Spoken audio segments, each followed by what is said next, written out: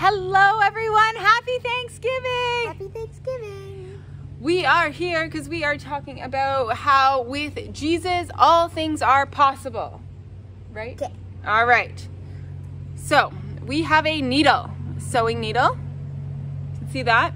Now, right up at the top, can you see that little hole? That is called the Eye. the eye. It's the eye of the needle. So we can thread, thread through the eye of the needle. And it fits. Even though it's a really, really small eye, it fits that tiny string. So, do you think we could fit this through the eye of the needle? No? Hmm. Well, Jesus talks about today in our story fitting a camel through the eye of a needle. Yeah. So we are going to go read from our Whirl Storybook Bible and then we are going to come back and see if we can fit this through the eye. Everything's possible for God. A man ran up to Jesus. Teacher, the man panted, I want to live with God forever. How can I be part of God's kingdom? You know God's rules, Jesus reminded him. Don't kill anybody. Don't take things that aren't yours. Don't lie. Honor your father and mother. The man was excited. I've followed those rules since I was a kid. Jesus looked at the man and loved him. You must do something else too, Jesus said. Sell everything you have and give the money to the poor, and come and follow me. The man hung his head and walked away. He didn't want to sell his things. The disciples were surprised. Sell everything, they asked? Jesus explained. It's easier for a camel to fit through the eye of a needle than for people to enter God's kingdom if they love their possessions and their money. You have to love God more than you love your things. If we do all those things, we will live with God forever? wondered the disciples. It's not about what you do, it's about God, Jesus replied. You aren't in charge of who enters God's kingdom. God is in charge, and with God, all things are possible. With God, the first will be last, and the last will be first. That was a really tricky story, wasn't it? Yeah. Yeah, there was a lot of information in there. So it started by a rich man coming to Jesus and he wanted to be part of God's kingdom. And Jesus said, Sell all your stuff and you can be part of God's kingdom because you have to put God first. How do you think that man felt? Um, I don't know. Like, Do you think he wanted to sell all his stuff? no. No, that's really, really hard. And Jesus knew that was hard. He said it's easier to get a camel through the eye of a needle than it is to get into God's kingdom if you love all the things you own more than God. Hmm. But at the end, he had a really cool message. He said, if you love God, anything is possible. Even getting this piece of fabric through this needle. So, what's really, really cool about fabric is it's actually made up of tiny pieces of thread. Let's see if I can get one out.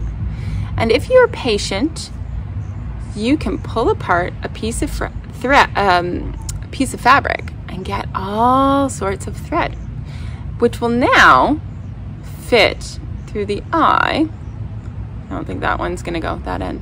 It will now fit through the eye of the needle. So if we were patient and we change this piece of fabric slowly and surely, there we go, we could get all of that fabric through the eye of the needle. Right? Mm-hmm. So if we put God first and we love Him and we are willing to change and put Him first, we can get to into God's kingdom, right? And we might look a little different because we've learned along the way how to be a better person. So we might look a little different, but all of that fabric will manage to get through. Mm-hmm. Pretty cool, eh? Yeah. Okay, so I have a craft for you. Or, no, I don't have a craft for you. I have an activity for you. All right, you ready? Right. Here's your piece of paper.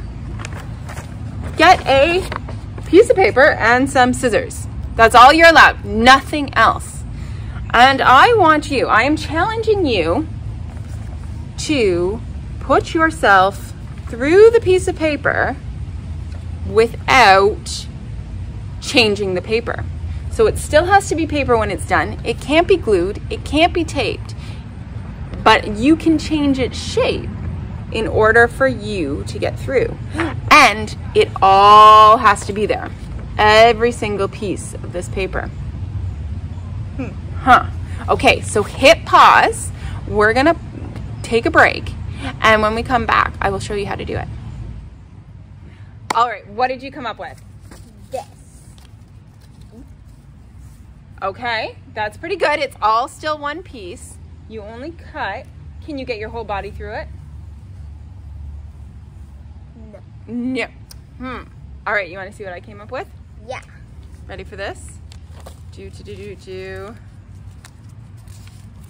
Ta-da! Nice. Now, one big circle that you can get your whole body through. Pretty neat, eh? Yeah. Yeah.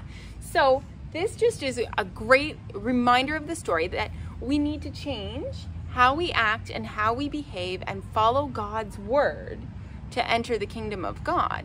But we're still the same, but we're a little bit different, right? We're just Yeah. a different shape. So we do have to work to change ourselves.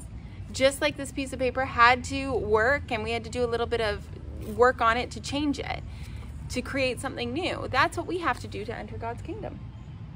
Yeah? Yeah. Alrighty. Stay tuned at the end of the video and I will teach you how to do that so you can amaze all of your family and friends on this Thanksgiving weekend. You could challenge them too. Happy Thanksgiving!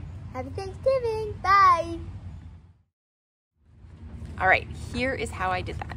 First thing I did is I folded the paper in half. Now, starting from the folded edge, you are going to cut, but not all the way, right? You wanna leave a bit of that paper. Now, you're going to go and cut from the other side. And again, leave an edge, and you're gonna zigzag all the way down the paper. Now, you want to make sure that this end also has like the fold on it, right? So the very last piece on either end has your folds. Now, these ones, we're gonna cut the folds. So all the ones in the middle, we want to cut the folds, but not the end ones. The end ones have to stay there. So you cut all of those folds. And remember, leave that last fold. And then when you open it up, you have a big, giant circle that you can pass through. You are now the camel that fits through the eye of the needle.